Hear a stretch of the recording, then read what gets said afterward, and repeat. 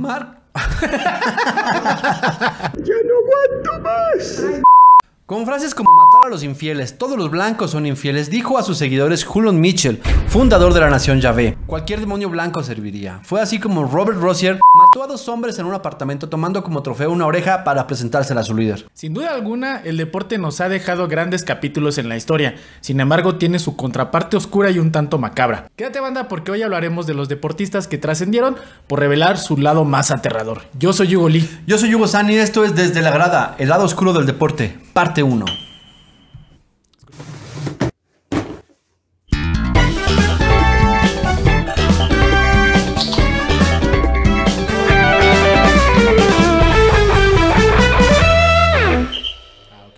Jovan Belcher, linebacker de los jefes de Kansas City. El jugador que a los 25 años asesinó tiros a su novia antes de en el campo de su equipo. El 1 de diciembre de 2012, Belcher le disparó a su novia Cassandra Perkins, madre de su hija de entonces 3 meses de edad, para dirigirse después a las instalaciones de los Chiefs, donde se a los oficiales del equipo. Según publica The Kansas City Star, la pareja había discutido sobre la relación y los problemas financieros que arrastraban. Darren Snap, vocero de la policía, dijo que recibieron una llamada de una mujer quien reportó que su hija había recibido varios tiros en una residencia a unas 5 millas de Arrowhead. Posteriormente recibieron otra llamada desde las instalaciones de los Chiefs reportando que dos policías del equipo hablaban con Belcher, que iba armado. Where Belcher shot himself in front of team officials shortly after killing Cassandra Perkins at their home. Once the officer arrives, he can be heard saying, It looks like Belcher is negotiating with police and asking for a weapon.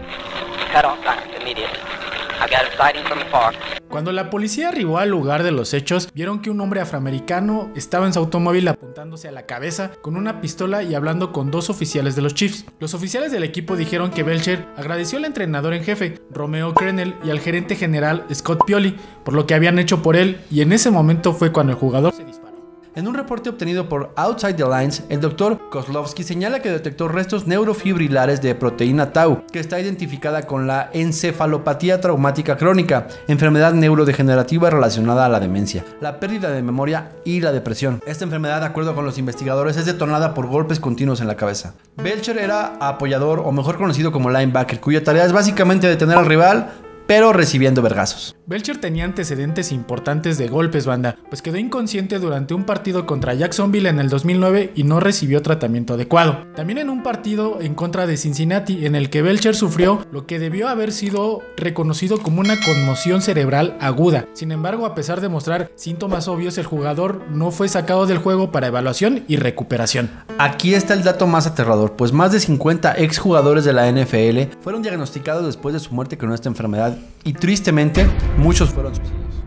Marc Cécilon, ex jugador de rugby francés, capitán de la selección nacional, representó a Francia en 46 partidos internacionales, incluyendo los mundiales del 91 y del 95. En 2003, Cécilon se retiró de manera oficial del rugby y, de acuerdo con declaraciones propias y de amigos, cayó en el chupe y en pleitos de faldas. Chantal, su entonces esposa y madre de dos hijos, se divorcia de él a causa de ello. Los hechos por el cual será recordado el exjugador, que entonces tenía 49 años, fue durante una fiesta a la que no fue invitado y donde posteriormente disparó varias veces en contra de Chantal frente a más de 60 personas. Marc Cécilon había bebido mucho en aquella fiesta realizada en Saint-Savin, en el sur de Francia, de la que fue expulsado por andar de mala copa y haber golpeado a su mujer. El ex capitán de la selección francesa regresó a la reunión con un revólver y disparó varias veces contra su esposa, cuando ella se negó a acompañarlo. Los análisis que se le realizaron indicaron que el exjugador tenía 2.6 gramos por litro de alcohol en la sangre, lo que representa una embriaguez profunda, solo unos cuantos tragos de entrar en coma.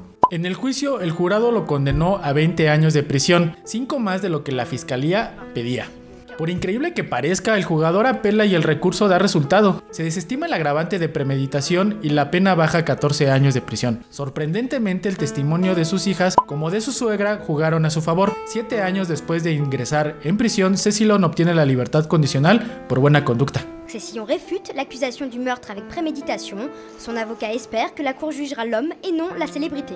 Si l'on veut que chacun puisse euh, le regarder euh, comme un criminel, Omar Ortiz. En plena guerra contra el crimen organizado, México estaba acostumbrado a ver en todos los noticieros escenas de capturas de personas aparentemente ligadas al crimen. Estas imágenes fueron un tanto comunes y lograban pasar desapercibidas en algunas ocasiones. Sin embargo, el 7 de enero de 2012, la noticia de la captura de una banda dedicada al secuestro acapararía todos los reflectores, pues en dicha presentación se encontraba nada más y nada menos que el portero de los Rayados de Monterrey, Omar El Gato Ortiz. Omar Ortiz Uribe, el gato, exportero de los Rayados de Monterrey, recibió una sentencia de 75 años por su participación en al menos tres secuestros, entre ellos el de una menor de edad. El arquero que en ese entonces cumplía una suspensión por dar positivo en el antidoping fue señalado por la Agencia Estatal de Investigaciones como el encargado de proporcionar información sobre las víctimas, además de recibir por cada rescate la cantidad de 100 mil pesos. En 2019 fue sentenciado a 75 años de cárcel. Esto debido a que la Procuraduría de Nuevo León reunió las pruebas suficientes que acreditaron al gato como miembro de la organización delictiva relacionada a un poderoso cartel.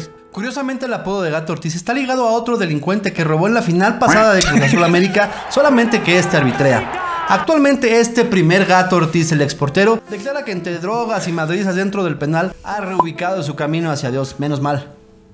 ¡Que viva Jesucristo! Te mamaste, güey. Darren Sharper. Darren Mallory Sharper, violador en serie convicto estadounidense y safety que jugó durante 14 temporadas en la NFL. Sharper fue nombrado All Pro en 6 ocasiones y elegido al Pro Bowl 5 veces durante toda su carrera, que incluyó estancias en los Green Bay Packers y Minnesota Vikings. Jugó en dos Super Bowls, uno con los Packers como novato y otro con los Santos de Nueva Orleans cuando ganaron el título en el 2010. Sin embargo, a pesar de su gran trayectoria y gran carrera deportiva, Sharper será recordado por los infames actos que cometió en contra de 16 mujeres, teniendo como cómplice a un alguacil. El ex estrella de los emparrillados fue sentenciado a 18 años en prisión en un caso en el que está acusado de drogar y hasta 16 mujeres en cuatro estados. La sentencia la obtuvo después de haberse declarado culpable en una corte federal por tres cargos de distribuir drogas con la intención. Él y su amigo Brandon Licardi, antiguo alguacil en el condado de San Bernard Parish, pondrían calmantes en las bebidas de las mujeres para poder abusar de ellas, de acuerdo con una declaración de 15 páginas firmada como parte del acuerdo. Dentro de la sala del tribunal donde se llevó a cabo la audiencia, había dos de sus víctimas y una de ellas dijo que el exjugador le insistió para que bebiera y después perdió el conocimiento. Cuando despertó se dio cuenta de lo que había sucedido. Otra de las mujeres dijo que su vida se ha vuelto una auténtica pesadilla y que incluso hubo un momento en el que consideró quitarse la vida. Michael Pastors, juez del Tribunal Superior de Los Ángeles, denunció lo que calificó como una horrible conducta y un maldito abuso de confianza de Sharper durante la audiencia que concluyó los procesos que desenmascararon a la estrella del Super Bowl como violador en serie. Sálvame al cacas.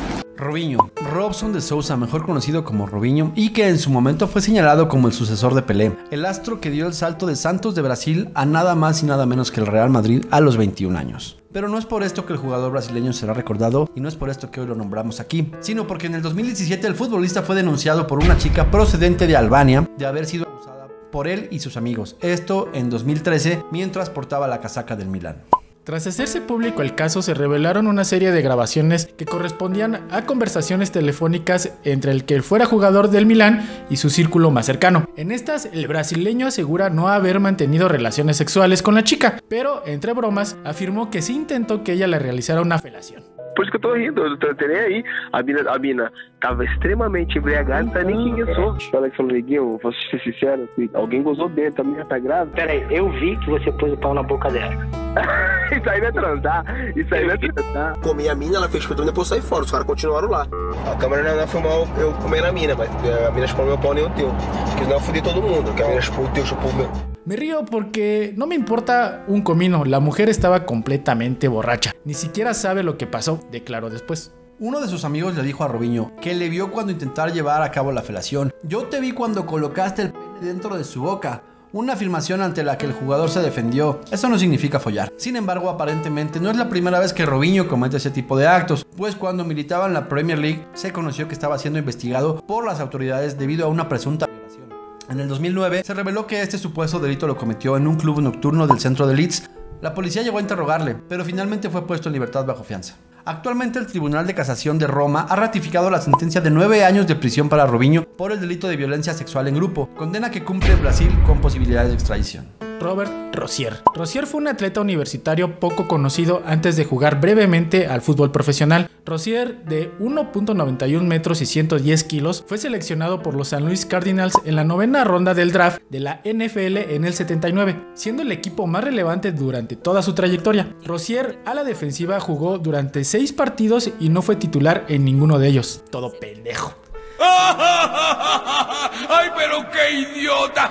Pero lo relevante no es esto, banda, sino que el tipo pasó a los anales de la historia en la década de los 80 por unirse a la nación Yahvé, una secta influenciada por creencias más extremas de la nación del Islam y de los israelitas hebreos negros. Su discurso promovía el odio racial y su nombre Yahvé Ben Yahvé significa básicamente Dios hijo de Dios. Las cosas se salieron de control cuando Ben Yahvé comenzó a disciplinar a miembros de la secta que querían desertar. Las reprimendas dieron paso a golpizas y hasta asesinatos, los cuales eran llevados a cabo por un grupo de élite a los que llamaba ángeles de la muerte. Se dice que Ben Yahvé alentaba a sus ángeles de la muerte a matar personas blancas al azar. Luego, estos cortaban una oreja de las víctimas para presentarlas ante Yahvé. En total fueron más de una docena de asesinatos promovidos por el autoproclamado Hijo de Dios. Bajo el discurso todos los blancos son infieles, Rosier mató a dos hombres y al puro estilo del mocharejes mexicano presentaba la parte mutilada al líder de la secta. En la noche de Halloween del 86 participó en el asesinato de dos personas, residentes de un complejo que había comprado la nación Yahvé.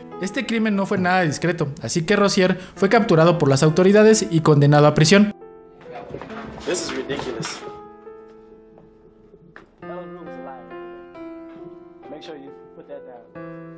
Sin embargo, aparte de malandro hijo de perra, el exjugador de la NFL fue un chivato y la fiscalía consiguió que declarara en contra del líder de la secta. Gracias a las pruebas presentadas por el Estado, Rosier cumplió 10 años en prisión y luego obtuvo la libertad condicional. Pero el muy imbécil fue devuelto al tambo una docena de años después, tal vez ahora sí de por vida, por el delito de fraude al presentar varios cheques sin fondos. Aparte de homicida, era un pendejo. ¿Y de qué te sirve estar vivo si estás bien pinche pendejo? Pero lo que cuenta aquí es tu opinión, banda. ¿Sabías de alguna de estas historias? ¿Has visto caer alguno de tus ídolos?